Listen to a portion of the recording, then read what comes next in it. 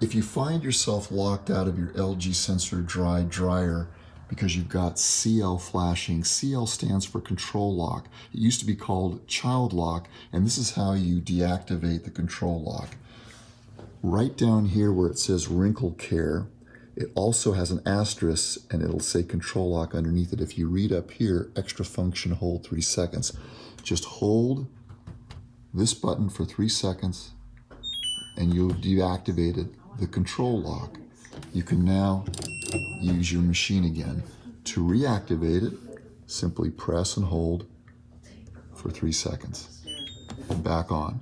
Sometimes a damp towel can activate that button. Don't worry about it, just come over here, press and hold the button.